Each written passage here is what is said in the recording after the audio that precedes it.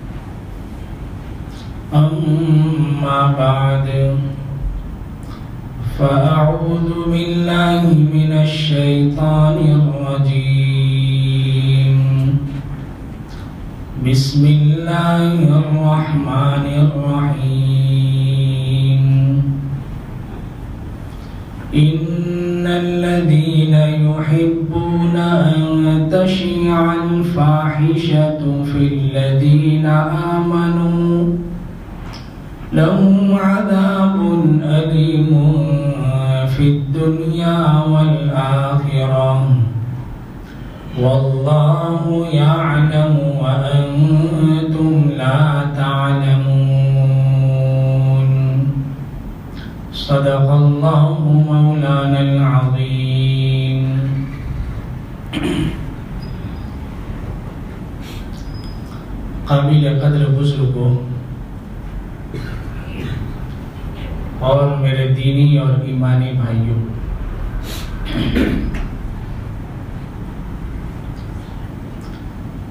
मैंने इस वक्त जो आयत करीमा पढ़ी है,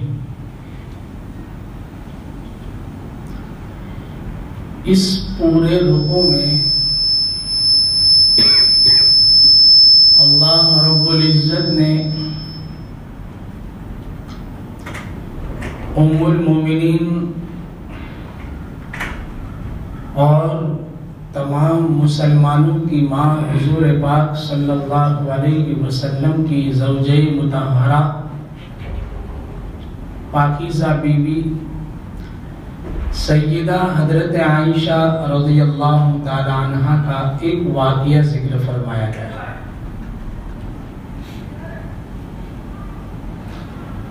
हज़रत आयशा रज़ी अल्लाह तआला हुजूर पाक सल्लल्लाहु अलैहि वसल्लम की अजवाज मुतहरात में से थी। बहुत से फजाइल मायशा रज़ी अल्लाह अन्हा के लिखे कि हुजूर अकरम सल्लल्लाहु अलैहि वसल्लम ने जितने निकाह फरमाए वो सारी बीवियाँ बेवाह थी। मायशा को ये फजीलत हासिल है कि मायशा हुजूर के निकाह में आई। इस हाल में कि आप कुमारी थे।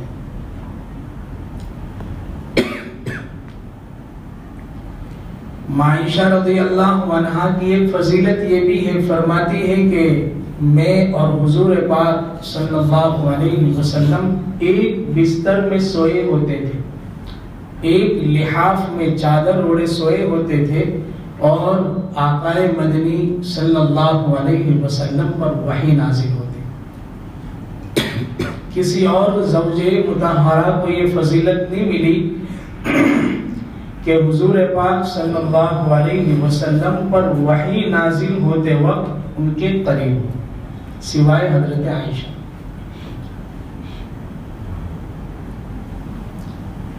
एक और फजीलत भी हासिल है, फरमाते हैं, हुजूर अकरम सल्लल्लाहु अलैहि वसल्लम का जो निकाह हुआ तो हुजूर खुद फरमाते हैं कि निकाह से पहले जिब्राइल अमीन अलैहि सलात वसलाम मेरे पास आए और ऊपर से आकर मायशा की तस्वीर लाए।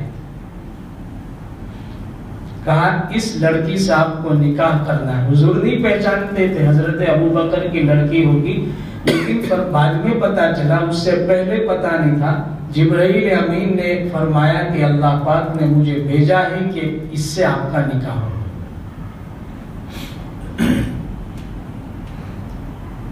जन्नत में भी हुजूर पाक सल्लल्लाहु अलैहि वसल्लम जिन औरतों से निकाह फरमाएँगे, उनमें हज़रत आयशा।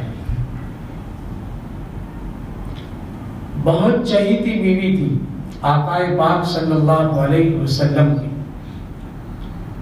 और आलिमा थी कसरत से रिवायतें मरवी दो हज़ार 200 से कुछ ऊपर रिवायतें हदीस की किताबों में माइशा रज़ी अल्लाह तआला बयान फरमाती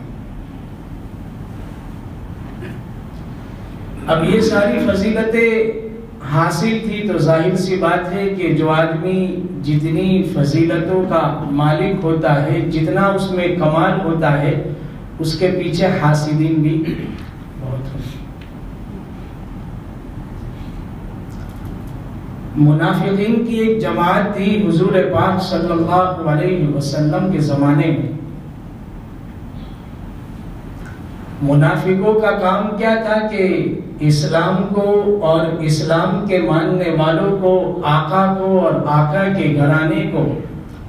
थोड़ी बहुत भी कोई ऐसी हाथ बात, हाथ लग गई जिससे बदनाम किया जा सके तो उस बात को बहुत फैलाते थे, बहुत बदनाम करते थे। मुनाफिकीन की आदत थी। तो इन मुनाफिकों ने बहुत बड़ा घनावना जुर्म किया। क्या जुर्म किया? कि माइशा रज़ी जैसी पाकिजा औरत पर जो नबी की बीवी है, नबी की जवजा है और कुरान का कायदा है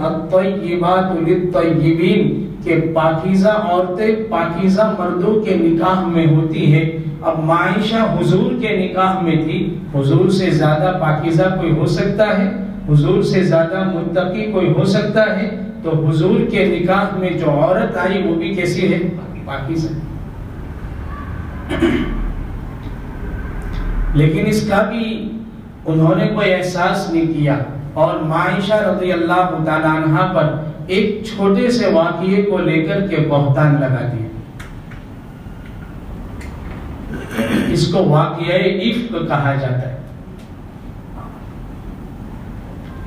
अल्लाह की शान देखिए कि अल्लाह पाक ने माइशा रज़ी अल्लाह की बारात ज़ाहिर फरमाई ने आसमानों से तो वाकये के आखिर में है माइशा फरमाती है कि मैं तो बरी थी बुरे काम से, मेरे दिल में भी बुरे काम का इरादा नहीं हुआ था। मुनाफिकीन ने शोर मचाया था मुझे लगता था कि अल्लाह पाक बरात को ज़ाहिर फरमाएँगे, लेकिन मुझे यूँ नहीं था कि कुरान के अंदर मेरे बारे में आयतें उतरेगी और कुरान मेरी शान में उतरेगा और कयामत तक उन आयतों को तिलावत किया जाएगा। फरमाते हैं, अल्लाह पाक ने ये मरतबा दिया कि माइशा रज़ी अल्लाह तआला की बारात कुरान की आयत के सिलसिले में वाकया क्या हुआ था? तो हुजूर पाक सल्लल्लाहु अलैहि वसल्लम एक मर्तबा एक गजवे में तशरीफ़ ले गए। गजवे बनुल मुस्तलक सन हिजरी पाँच या छ में पेश आया है। जमात चली गई, वहाँ फारिग हो गए, वापसी का सफ़र था। वापस हो रहे थे तो एक जगह पर पड़ाव डाला, काफले ने। रात का वक्त था तो हुजूर पाक सल्लल्लाहु अलैहि वसल्लम ने सहाबा से फरमाया, ठहर जाओ, सुबह चलेंगे यहाँ से। ठहर गए, आराम किया सबने। सुबह हुई तो सुबह के वक्त हुजूर पाक सल्लल्लाहु अलैहि वसल्लम ने सहाबा से फरमाया, चलो भाई कुछ करते आगे सफ़र करते फजर की नमाज़ से पहले का वाक्य। अब उस जमाने में ये होता था कि हुजूर पाक सल्लल्लाहु अलैहि वसल्लम के साथ सफ़र में मायशा रज़ी अल्लाह भी थी। ऊँट पर सवार थी। अब चूँकि पर्दे के अहकाम नाजिल हो चुके थे तो हौदज बनाया था। छोटी सी पेटी। उस हौदज के अंदर माइशा पालकी भी उसको कहते हैं। उस पालकी में माइशा रज़ी अल्लाह बैठ जाती थी, बहुत पतली थी, दुगनी पतली थी। साहब कराम में से कोई उस हौदज को और पालकी को उठाता था और ऊँट पर रख देता था और सफ़र करते थे।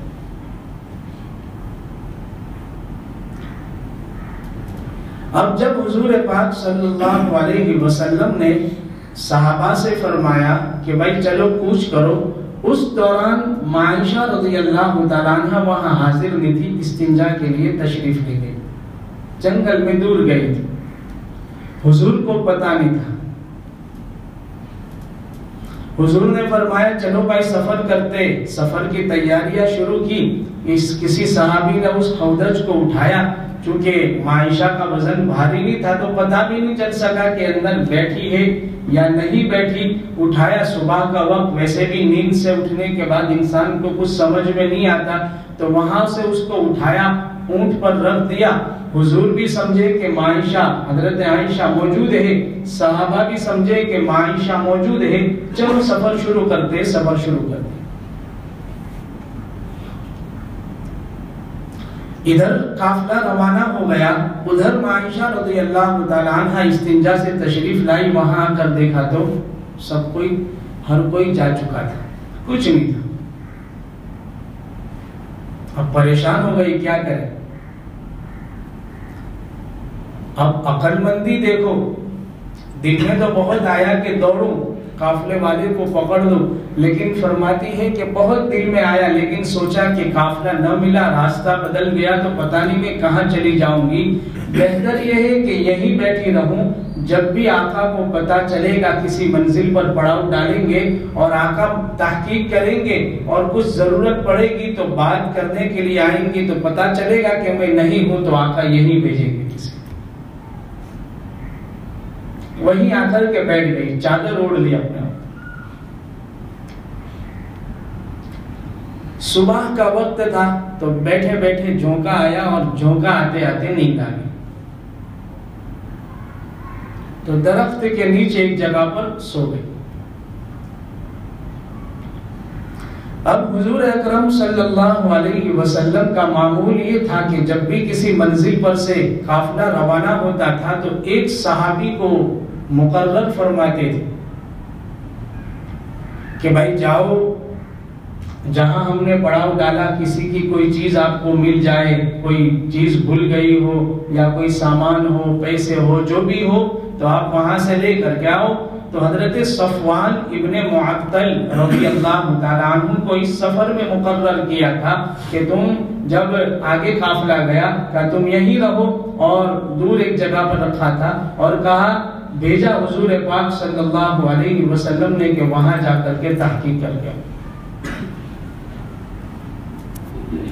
अब हज़रत सफवान जब तशरीफ़ लाए तो देखा कि कोई शख्स सोया हुआ है चादर ओढ़े हुए चेहरा खुला था। हज़रत सफवान ने मायशा रज़ी अल्लाह को पहले देखा था छोटी लड़की थी जब उस वक्त तो, तो देखा था तो फ़ौरन पहचान गए जब करीब आए कि ये तो जौजे मुतहरा हुजूर पाक सल्लल्लाहु की हमारी अम्मी जान मायशा तो फ़ौरन ताज्जुब में इन्ना लिल्लाहि व इन्ना इलैहि राजिऊन ज़ोर से पड़ा ताकि उनकी आँख खुल जाए।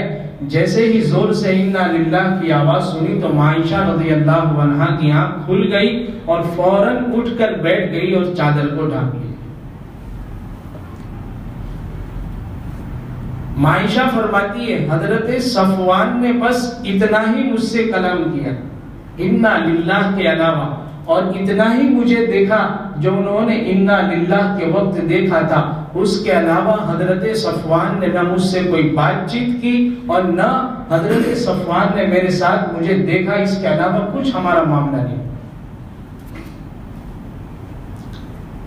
फिर क्या किया? हज़रत सफवान अपने ऊँट को लाए, ऊँट को सीधा कर दिया और आगे चले गए। माइशा रज़ी अल्लाह ऊँट के ऊपर सवार हो गई। जब बैठ गई, हज़रत सफवान नकील पकड़ कर के चल पड़े और जल्दी जल्दी चलाते चलाते काफले वालों के साथ मिल गए, मामला खत्म हो गया। अब उस सफ़र में कुछ मुनाफिकीन भी थे। ये बात तो यही खत्म हो गई थी। लेकिन उस सफ़र में कौन थे?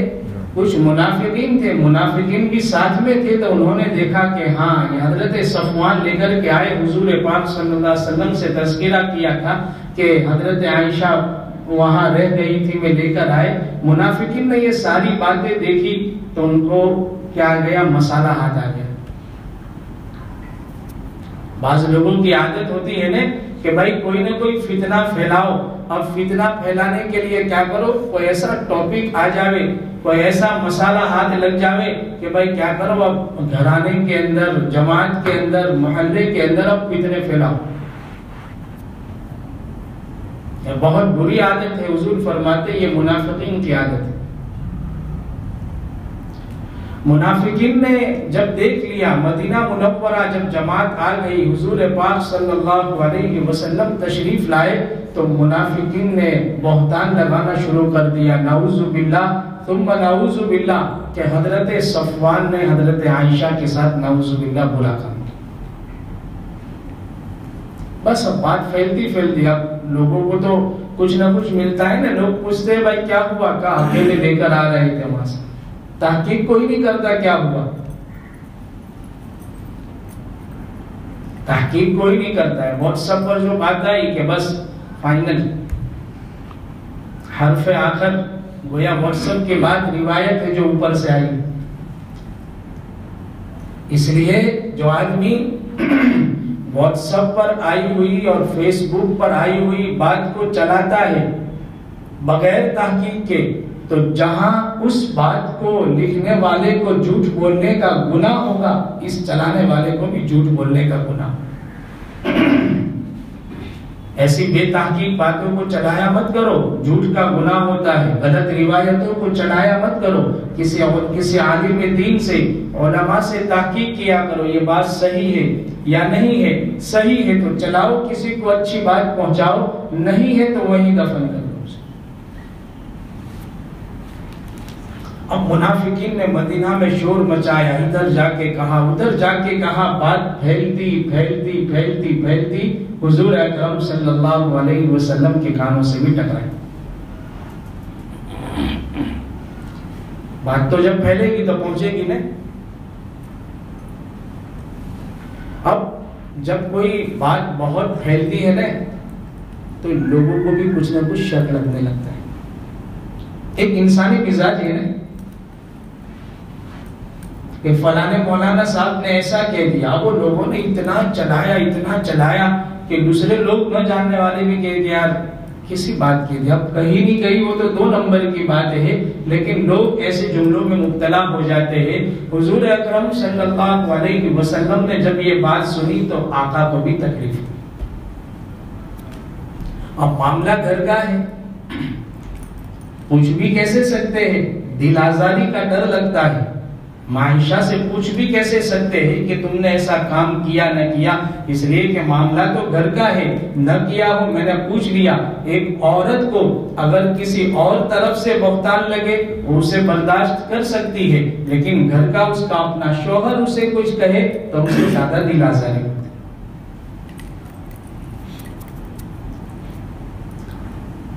हुजूर अकरम सल्लल्लाहु अलैहि वसल्लम को पता चला, हुजूर के अखलाक देखे। हम में से कोई होता तो दो तीन तमाचे मार के उसी वक्त ताकीद किए बगैर। हुजूर ने कुछ नहीं कहा। इससे सबक मिलता है कि अपने घराने में अपने अहलो अयाल के साथ कैसे रहा जाए। हुजूर की सीरत ही कुछ नहीं कहा। हुजूर को तकलीफ़ ज़रूर थी। दुआ भी करते थे अल्लाह पाक से। अल्लाह मामले को साफ़ फरमा दे हुजूर फरमाते, मुझे यकीन तो है कि हज़रत आयशा ऐसी बुरी नीयत वाली नहीं है, लेकिन लोगों की जबान से बातें इतनी सुनी कि मैंने कहा नहीं कि हुजूर को भी हुआ कि भाई क्या होगा पता। मायशा फरमाती है कि भाई अच्छा हज़रत आयशा रज़ी अल्लाह को कुछ पता नहीं था। भोली भाली बीवी थी। कुछ पता नहीं था क्या बाहर चल रहा है।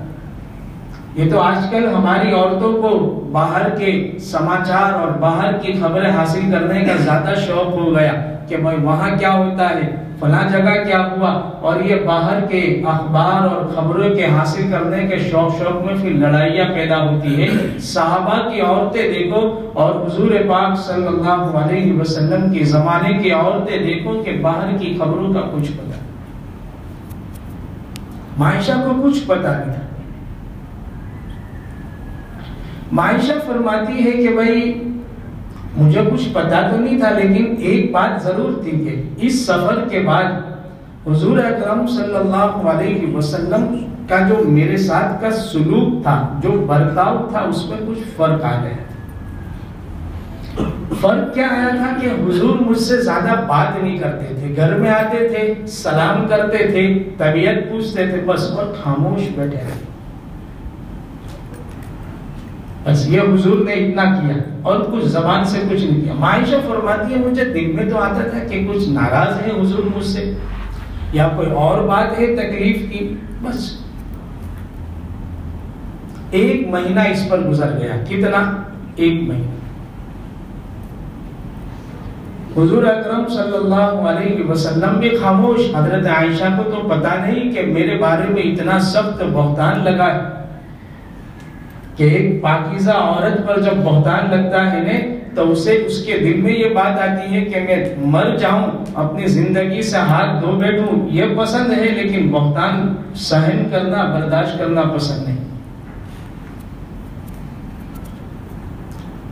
का एक मरतबा अच्छा ये जो मुनाफिकीन इसमें मुलविस थे, उसमें कुछ सहाबा भी मुलविस हो गए थे। हज़रत हसान बिन साबित जैसे सहाबी, जो गजवे बदर में शरीक होने वाले थे। हज़रत मिस्ता जैसे सहाबी, जो बदरी सहाबी है।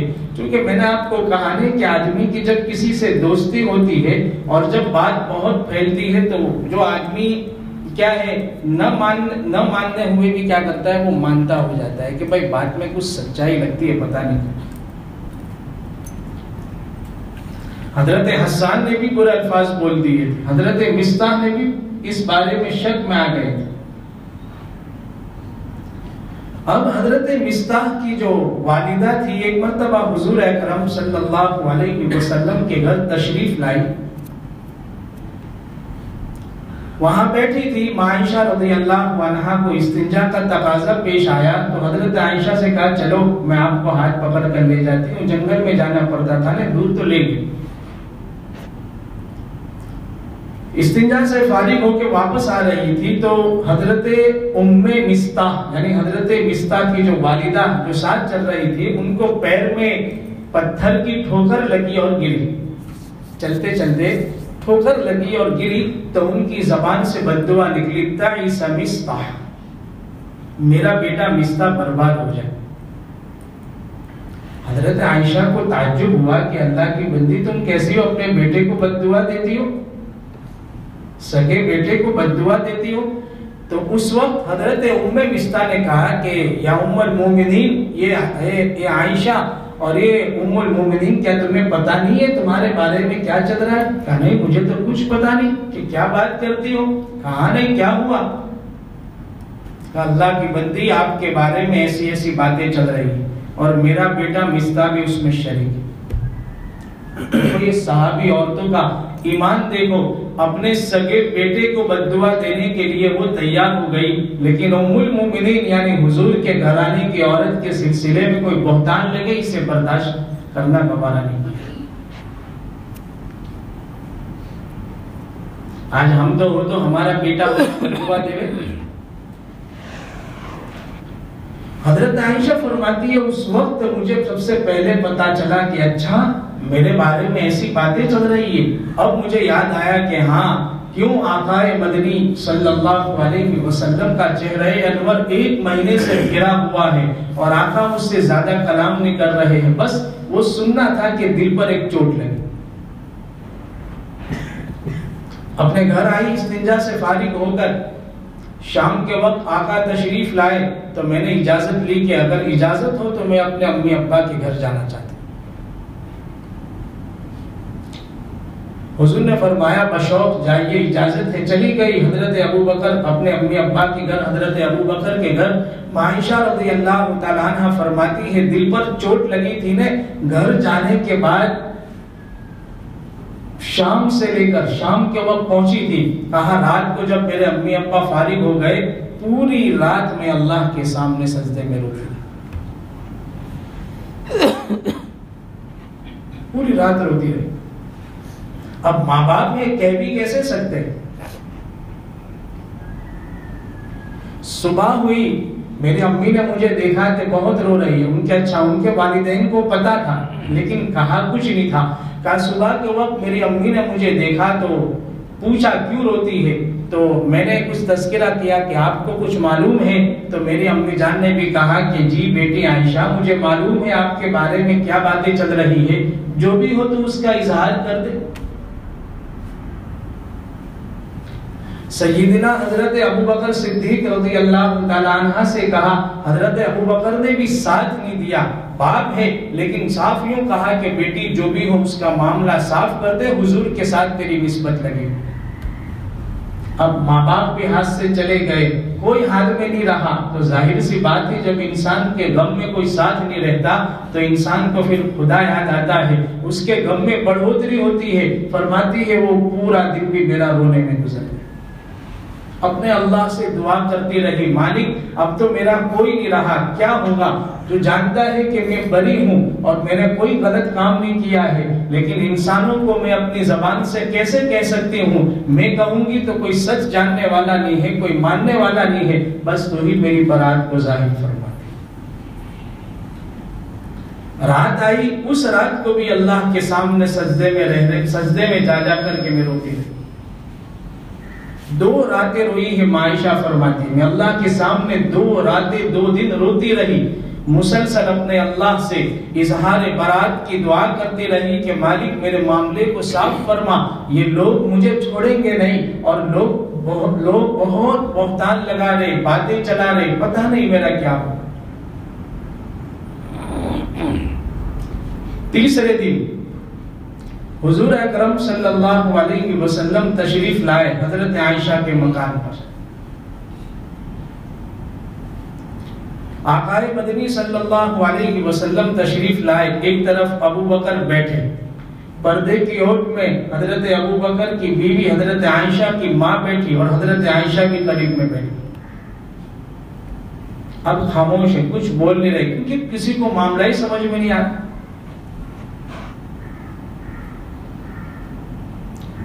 हुजूर अकरम सल्लल्लाहु अलैहि वसल्लम ने आकर के अंदर देखो, हुजूर ने पूछा भी तो कब पूछा? मजमे के सामने नहीं, कौन मौजूद है सिर्फ़? माँ बाप हुजूर ने पूछा, आयशा, तेरा मामला क्या है? क्या मामला है तेरा? बहुत लंबे जमाने से चल रहा है। मुझे भी दुख है, मेरे दिल में भी इस बात की कोड़क है कि कैसी बातें चल रही है और मुझे भी यकीन है कि तू पाकिजा औरत है। लेकिन मामला और बातें बहुत चल रही है, इसलिए ताकीद के लिए पूछना चाहता हूँ कि मामला क्या है आयशा। हज़रत आयशा रज़ी अल्लाह फरमाती है कि जब हुजूर ने पूछा ने तो मेरी धारस बन गई बहुत ज़ोर से रोना आया मुझे कि मैं क्या जवाब दूँ? अपने अब्बा से कहा, अबू बकर सिद्दीक से कहा कि कुछ जवाब दीजिए। हज़रत अबू बकर ने कहा मैं क्या जवाब दू दे रहा तुम जवाब दो। अपनी अम्मी जान से कहा तो उनकी अम्मी ने भी कहा कि मैं जवाब नहीं दे सकती आका को, तू ही अपना जवाब दे। माइशा फरमाती, अब कोई नहीं रहा मेरा। बिल्कुल नाउमीद हो गई।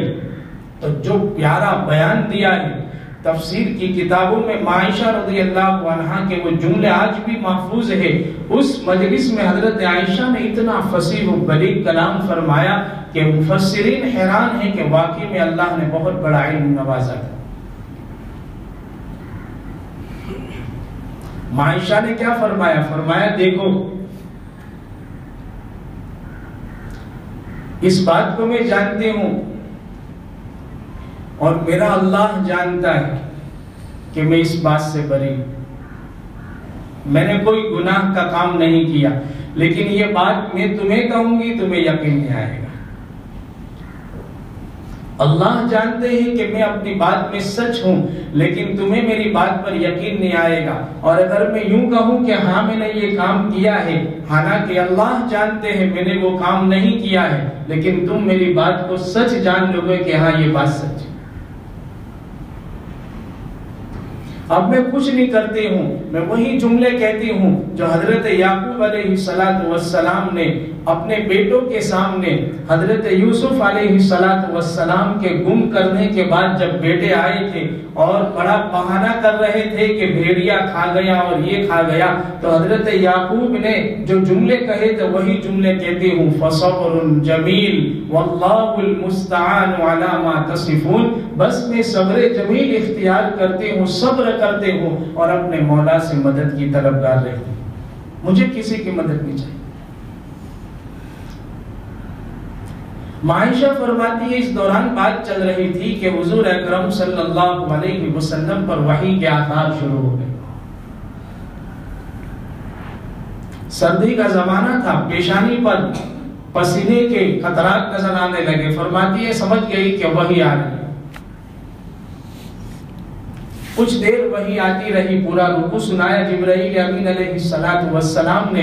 कुछ देर के बाद जब वही के आसार खत्म हुए, जिब्राइल अमीन तशरीफ़ ले गए, हुजूर अकरम सल्लल्लाहु अलैहि वसल्लम का चेहरा खिल उठा और हँसते हुए फरमाया, अब श्री या आयशा, ए आयशा, खुशखबरी हासिल कर लो। अल्लाह तबारक व तआला ने तुम्हारी बरात को कुरान में नाजिल फरमा हुजूर का चेहरा खिल उठा।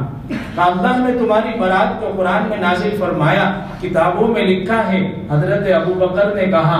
हज़रत अबू बकर की अहलिया, हज़रत आयशा की अम्मी ने कहा कि जा, उठ के हुजूर से एहसान मंद हो जा, शुक्रिया अदा कर ले। मायशा के जुमले आज भी किताबों में है। मायशा ने फरमाया, नहीं, आज तो मैं अपने अल्लाह का ही एहसान मानूँगी, नबी के पास भी नहीं जाऊँगी, इसलिए कि अब मुसीबत का वक्त था तो मेरा साथ किसी ने नहीं दिया नहीं उठी अपनी जगह से। इसको नाज कहते हुजूर की बीवी थी वो, हालाँकि नहीं कर सकते। लेकिन उस वक्त मौका ऐसा था कि हुजूर हुजूर को भी शक हो गया था ने। तो मायशा को ये बात लगी थी तो साफ़ कहा कि आज तो मैं अपने अल्लाह का ही एहसान मानूँगी। लिखा है कि मायशा रज़ी सजदे में चली गई और अल्लाह का शुक्र अदा करती रही। अपने माँ बाप के पास भी पहले नहीं गई, अब हुजूर के पास भी पहले नहीं पूरा रुकू अल्लाह तबारक व ने कुरान मजीद में उतारा। मायशा फरमाती है, ये मेरी फजीलत, मुझे मालूम था कि मैं बरी हूँ। अल्लाह पाक वही के ज़रिए से मेरी बारात को ज़ाहिर फरमाएँगे, लेकिन मुझे ये नहीं मालूम था कि कुरान में मेरी आयतें उतरेगी। कयामत तक मेरे सिलसिले की आयतें पढ़ी जाएगी और कयामत तक मेरा नाम कुरान में बाकी रहेगा।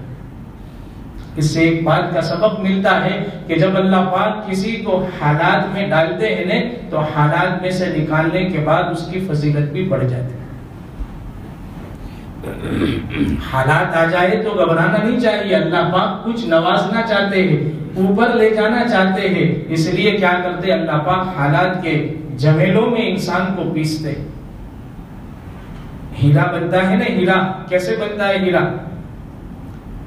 पत्थर को कूटा जाता है। यहाँ हीरा बाज़ार है, पीछे। उसको कूटते कूटते, मारते मारते, पता नहीं कितने दिन के बाद मारते मारते वो हीरा को ही नूर बनता है। जब अल्लाह तबारक व ताला किसी पर मुसीबत की मार मारते हैं ने, यू मत समझो कि अल्लाह नाराज़ है, यू समझो कि अल्लाह की मुझ पर तवज्जो है। हाँ शर्त यह है कि हमारी तवज्जो अल्लाह की तरफ़ है। फिर हालात में डालने के बाद अल्लाह पाक ऊपर उठाते हैं। मायशा रज़ी अल्लाह तहा का ये वाकया कुरान में बड़ी शान के साथ अल्लाह पाक ने ज़िक्र फरमाया। हुजूर पाक सल्लल्लाहु अलैहि वसल्लम ने फिर उन मुनाफिकीन को, अब्दुल्ला बिन उबई को और जो तीन सहाबी थे, हज़रत हसान हज़रत मिस्ता दो मर्द थे, हज़रत हमना एक औरत थी, इन तीन सहाबी को भी जो हद कजफ लगाई बहतान बांधने की जो हद होती है, अस्सी कोड़े हुजूर अकरम वसल्लम ने लगवाए और सारे मुनाफिकीन की किलड़ी खुल गई। मुनाफिकीन जो एक दो महीने से बड़े, क्या है, मुसलमानों को बदनाम करने की कोशिशें कर रहे थे और फूले भी समाते थे। अल्लाह रब्बुल इज़्ज़त ने कुरान की आयत नाजिल फरमाकर सबको खामोश कर। कयामत तक के लिए बरात का ऐलान कर दिया। लेकिन आज भी कुछ अल्लाह के दुश्मन है, हुजूर के दुश्मन है मायशा के दुश्मन है, हज़रत अबू बकर, हज़रत उमर के दुश्मन है, जो आज भी मायशा की बारात को नहीं मानते। शिया की एक जमात है मायशा की बारात को नहीं मानते, कुरान की नायत का इनकार करती है। यह मुनाफिकीन की नस्ल है शिया की, जो इस बात को नहीं मानती कि हज़रत आयशा बनी। आज भी वो कहते हैं नाउजुबिल्ला हज़रत आयशा मुनव्विस है लेकिन ऐसे लोगों की बात से कुछ फ़र्क नहीं पड़ता। कुरान आसमानी किताब है। कुरान किसी इंसान की लिखी हुई किताब नहीं है, आसमानी किताब है। अल्लाह ने कुरान में मायशा की बरात को ज़ाहिर कर दिया। अल्लाह से ज़्यादा जानने वाला और कौन हो सकता इसलिए हमारा ईमान है कि मायशा रज़ी अल्लाह पाकिजा औरत थी और पाकिजा औरत ही रही और कभी ऐसे काम की तरफ़ तवज्जो नहीं की और मुनाफिकीन ने जो आपके बारे में बातें कही, वो सरासर बहुतान था। कुरान ने कहा सुबहान कहा कुरान ने साफ़ कहा कि ये हुजूर, आप कह दीजिए आपकी जात पाक है और ये जो मुनाफिकीन कह रहे हैं ना, ये बड़ा बहुतान है। इसमें इसकी हकीकत कुछ अल्लाह रब्बुल इज़्ज़त हमें इस पर सच्चा ईमान नसीब फरमाए। अल्लाह हुजूर की सच्ची मोहब्बत और हुजूर के घरानों की सच्ची मोहब्बत हम सबको नसीब फरमाए। आमीन। वाखिर दावाना अल्हम्दुलिल्लाह बिस्मिल्लाहिर्रहमानिर्रहीम। अल्लाहुम्मा लकल हम्दु कुल्लुहु